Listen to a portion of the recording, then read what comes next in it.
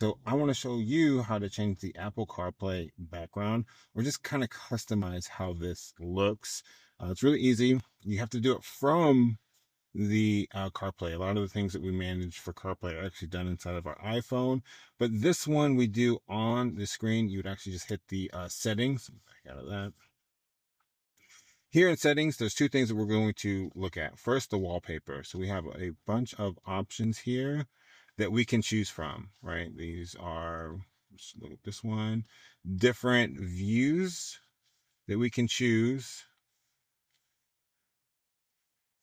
here. Now we can't add our own, but we can choose from this list.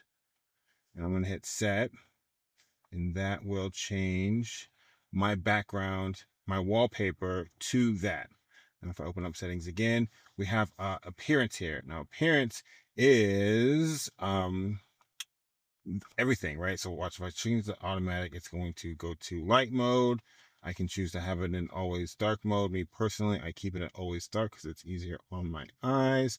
And we can have the option to always show the dark maps as well, uh, instead of having bright or light. I like the bright maps. I like the controls to be black. So I'm going to leave that there.